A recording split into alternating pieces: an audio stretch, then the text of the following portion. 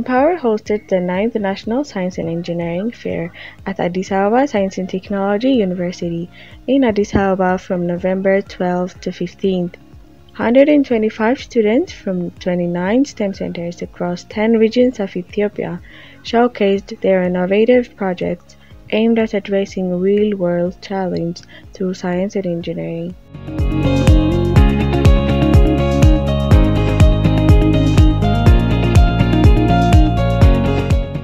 The objective of this project is uh, through a digital home system that can monitor uh, your home activities. Uh, to have different type of sensors such as flame sensors, motion sensors, uh, temperature sensors that allows the parents to manage its house uh, properly.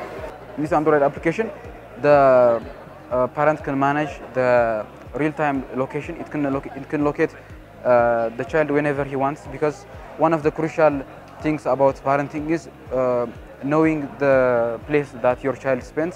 And in this program, it's programmed in uh, uh, Android Studio, and it have a graphical user interface that can that have a text of Amharic, which means a local people can understand the language easily.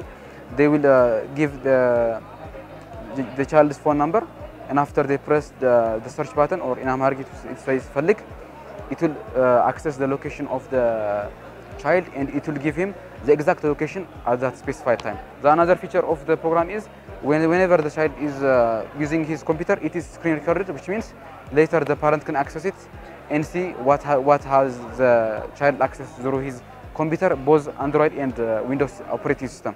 This allows, uh, this allows to, man to control the, both the digital features, which can help the child to focus on education.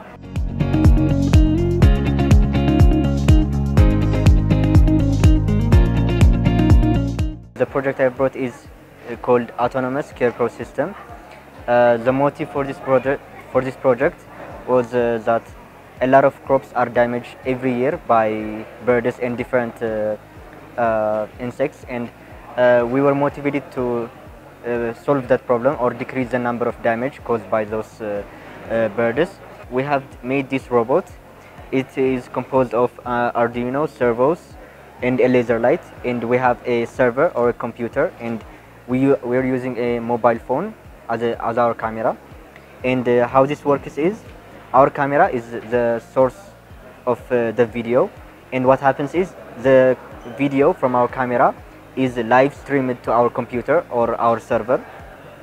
And what happens is uh, the, the computer re uh, receives the video and processes the video and then there is a, an AI model that we have developed that detects the birds and when it detects birds it uh, converts their position or coordinate into servo angle. And for testing purpose we have a video of uh, birds here. The AI detects the video the birds in the video and it moves the laser according to those coordinates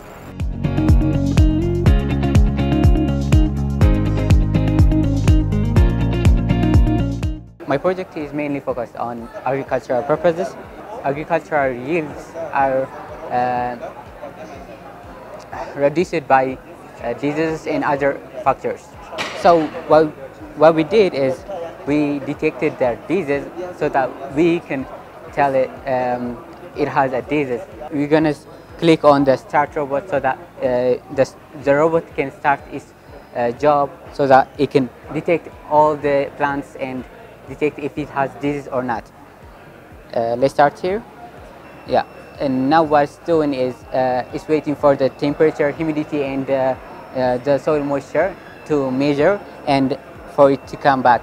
Now it's receiving data from the uh, phone and the robot itself. Uh, what it's doing is it's receiving the temperature, humidity, and soil moisture from the robot, and it's receiving the image from the mobile phone and is uh, gathering it, the information and checking the, uh, predicting the image, what it can be, whether it's uh, disease or it's healthy. Now it's going to WhatsApp and send it to your phone number.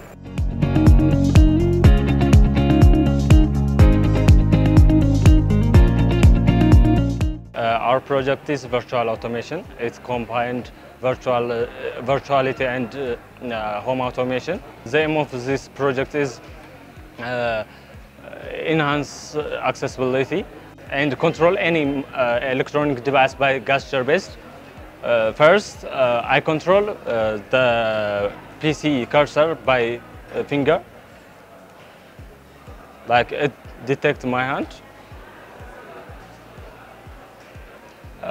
When uh, we click thumb finger and uh, index finger, uh, we move the the index finger. It's a scroll. That the other feature is control bulb and switch by gesture based. It's on and it's off.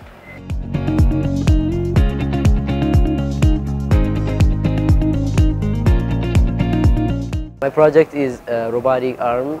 Uh, this uh, robotic arm mainly used for uh, disabled person or when ha one handy persons uh, or that have uh, no uh, right hand or left hand.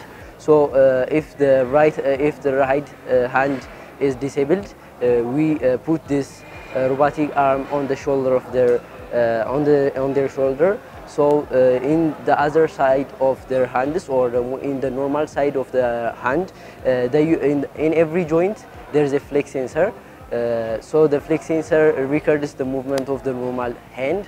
Uh, so it repeats to the robotic uh, arm. So when I show the ultrasonic sensor my hand, so it moves and it gives high, a, a high for me.